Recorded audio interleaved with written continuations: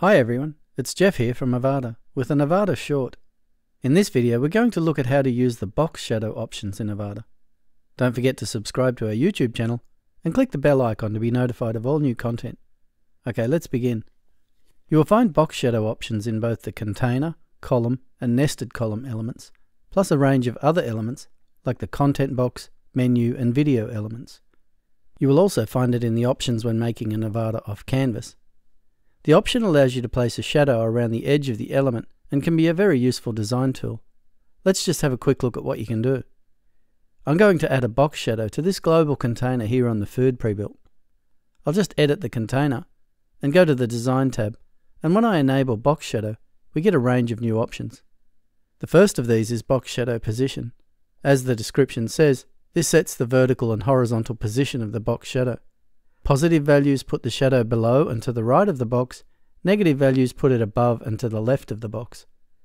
So if I add 20 pixels in the vertical and horizontal option, the shadow is placed 20 pixels down and 20 pixels to the right.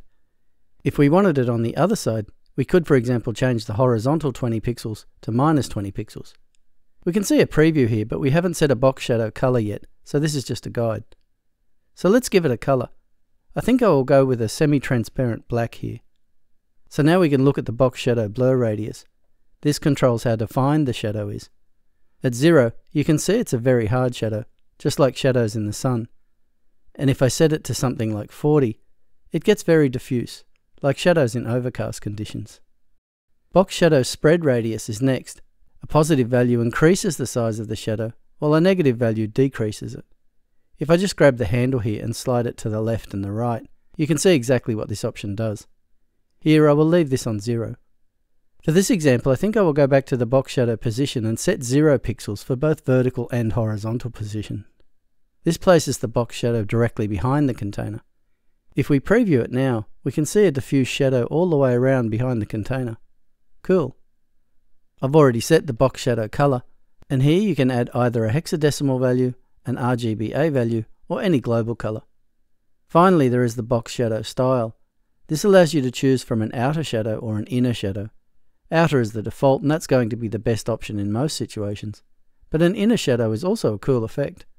If I just add a container from the library into this page, here you can see an empty column with an inner box shadow. Okay, that's the box shadow option in Avada. Go wild. And that's it for this Avada short. If you have any questions or need assistance, please create a support ticket and our team will gladly assist you. As always, we want to thank you for choosing Avada.